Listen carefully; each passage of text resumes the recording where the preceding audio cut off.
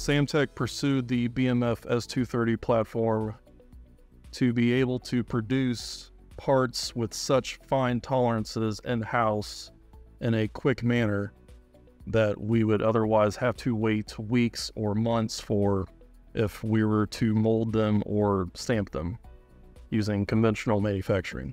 The BMF platform gives us full range, full access of the types of controls and settings that we can change during the print.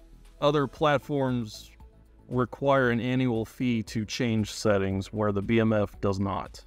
The design itself of the BMF machine surpasses all other machines that we have in house. That printer platform allows us to push the envelope even further where injection molds and stamping dies can certainly get to those smaller and smaller fine tolerances, but they take weeks and months of time to produce those tools. With a BMF printer, we can print incredibly thin walls well under a thousandth of an inch. Having that capability allows us to further explore ideas that we may have written off years ago. We are now revisiting those ideas with the BMF platform.